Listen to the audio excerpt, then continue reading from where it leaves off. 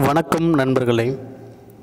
மருத்துவ மற்றும் ஊரக நலப்பணிகள் இயக்கத்தில் அலுவலக உதவியாளர் பதவிக்கான அறிவிப்பு வெளியே இருக்குது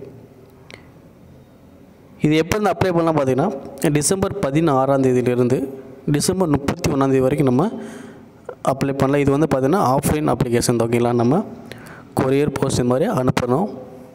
இதுக்கான தகுதி என்னென்னு பார்த்துடலாம் ஃபஸ்ட் போஸ்ட் நேம் பார்த்தீங்கன்னா அலுவலக உதவியாளர். ஸோ உங்களுக்கு என்ன மாதிரி பணி இருக்குன்னு பார்த்தீங்கன்னா மருத்துவ மற்றும் ஊரக நலப்பணிகள் இயக்கத்தில் பணிபுரியும் உயர் அலுவலர்களுக்கு அடிப்படை பணிகளை மேற்கொள்வதில் உதவி செய்தல் மற்றும் அலுவலக நடைமுறை பணிகளில் உதவிடுதல். உங்களுக்கான சம்பளம் வந்து பார்த்தீங்கன்னா பதினைஞ்சாயிரத்தி எழுநூறுபாயிலேருந்து ஐம்பதாயிரம் வரை உங்களுக்கு கிடைக்கும். பதினஞ்சாயிரத்தி எழுநூறுபாயிலேருந்து ஐம்பதாயிரம் வரை உங்களுக்கு கிடைக்கும்.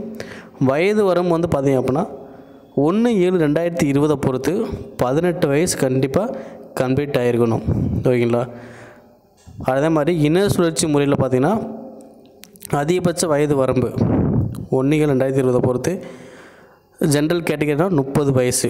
பிசி பிசிஎம் எம்பிசி இருந்தீங்கன்னா முப்பத்தி ரெண்டு வயது. அதே மாதிரி எஸ்சி எஸ்டி எஸ்சிஏ வந்தீங்க அப்படின்னா முப்பத்தி ஐந்து முன்னாள் இராணுவத்தினராக இருந்தீங்கன்னா ஐம்பத்தி மூணு அடுத்து வந்து பார்த்திங்கன்னா மாற்றுத்திறனாளிகள்னால் இதோட உங்களுக்கு இன்னொரு பத்து வருஷம் எக்ஸ்ட்ரா கிடைக்கும்.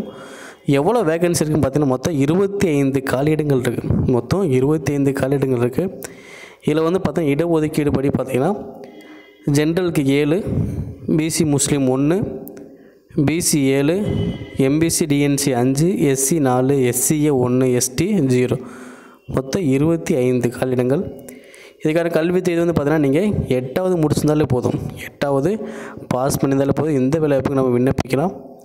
இதில் எப்படி விண்ணப்பிக்கணும்னு பார்த்தீங்கன்னா இதுக்கான விண்ணப்பம் வந்து பார்த்தீங்கன்னா W W W dot TN health dot TN dot GOV dot in இந்த இணையதளத்தில் போய் நீங்கள் விண்ணப்பங்களை பதிவு இறக்கம் செய்து அதை மின்னஞ்சல் அதாவது பதிவஞ்சல் மூலமோ அல்லது அலுவலகத்தில் நேரடியாகவே வந்து கொடுக்குறா அப்படின்னு சொல்லியிருக்காங்க.